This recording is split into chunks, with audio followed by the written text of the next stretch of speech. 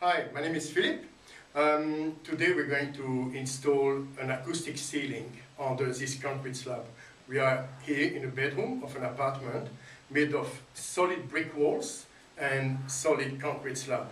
So the problem is this, any noise that um, we make above this, like a footstep, chairs moving, because we've got um, timber floor just on top of this uh, ceiling, and every every noise gets transferred very easily through the concrete slab and through the walls as well. So we're going to do um, install an acoustic ceiling and the first thing we're going to use is a product like this called resilient mount.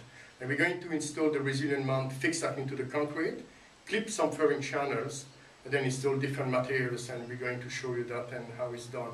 Um, there will still be noise going through the walls. We can't stop everything. That's a problem when we got structural noise.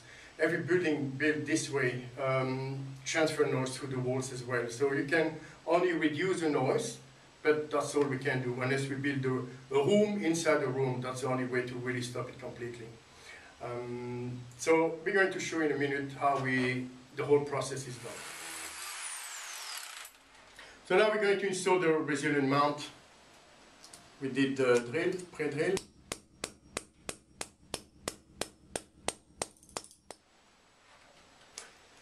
This one is well tight. The reason why we use resilient mount is to reduce transmission of vibration to the new, new ceiling structure.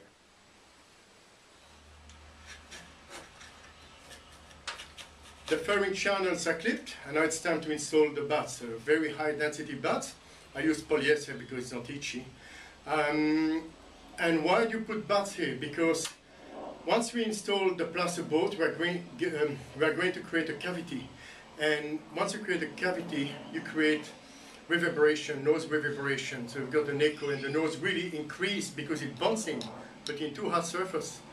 And the batts will prevent doing that. So this is very important part of the process to install high density batts between uh, inside the cavity you're just creating.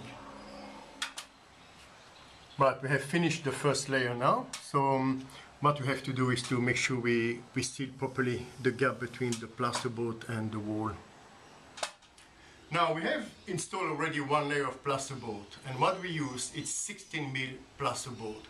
We use 16 mil because it's quite heavy and to reduce the sound the best possible is to have to increase the mass of the ceiling so we use quite thick plasterboard. So in this case we use 16 mil. We already put one layer. Now we're going to put a second layer. So we've got now 2 times 60 mil plasterboard. But between the two layers we're going to install a product called um, viscoelastic membrane. It's quite thin, thin, very thin, very flexible. And um, what this membrane does, when it's between two boards, it prevents the boards from vibrating.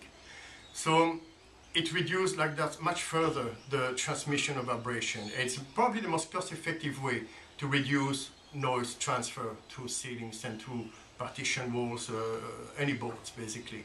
So this is a very cost-effective way to do it and it's very necessary. Now we lift the second panel with the viscoelastic membrane on it. So we use the panel lift, it's much easier, much quicker. Et voila, the ceiling is finished now, with cornices sanded, ready to be painted. Now, this is not the cheapest way to do it, but it's certainly the most efficient and the most cost-effective way to do it. So feel free to give me a call anytime, or send me an email. Um, I'm always very happy to help.